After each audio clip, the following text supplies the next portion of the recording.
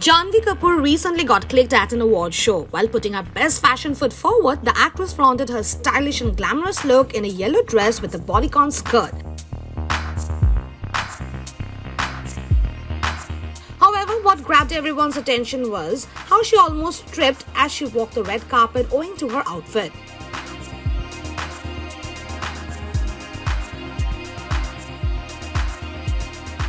But Janhvi managed to regain her balance and avoided embarrassment gracefully.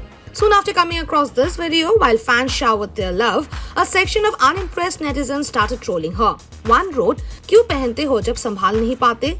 Another one commented, "Surgery ki dukaan." For more news and updates, stay tuned to E-Times.